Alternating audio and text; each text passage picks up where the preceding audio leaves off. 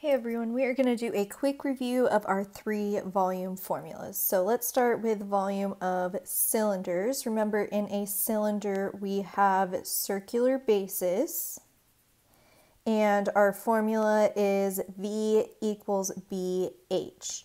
And that B means area of the base And since our base is a circle, we use pi r squared to find the area of it. So I shaded my bases. The height is 11.2.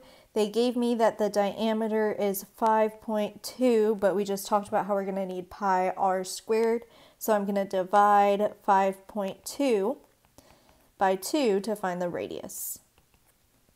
So 5.2 divided by 2 is 2.6. All right, now I have everything I need to find the volume of this cylinder. I'm going to do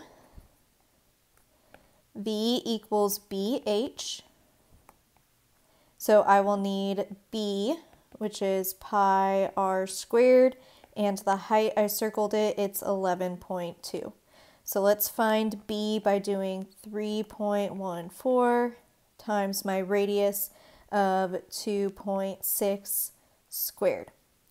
And 3.14 times 2.6 squared is 21.23. So I have everything I need. I have the base, it is 21.23, and I have the height, it's 11.2. I just multiply those together to find the volume. So 21.23 times 11.2 is 237.78 feet cubed. Okay, that is volume of a cylinder. Volume of a cone is really similar, except we have this one third because the volume of a cone is one third of a cylinder. And B is still the area of the base.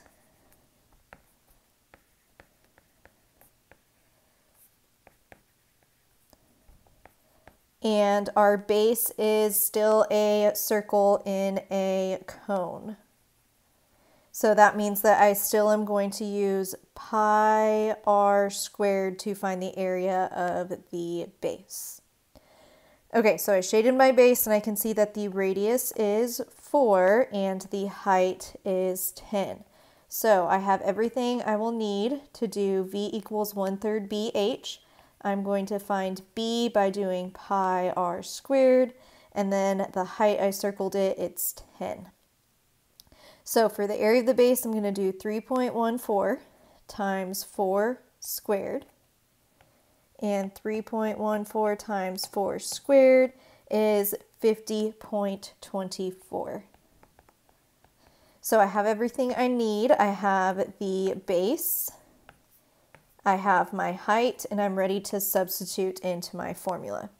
So I'm going to do 1 third times my base, which was 50.24, times my height of 10. And 1 third times 50.24 times 10 is 167.47 inches cubed. Okay, and then the last formula is volume of spheres. All I need to find the volume of a sphere is the radius. They give me the diameter here. It is 12. To find the radius, I'm going to do 12 divided by 2. So the radius is 6. And now I have everything to find the volume of the sphere. I'm going to do V equals 4 thirds pi r cubed. So it'll be 4 thirds times 3.14 times my radius of 6 cubed. And 4 thirds times 3.14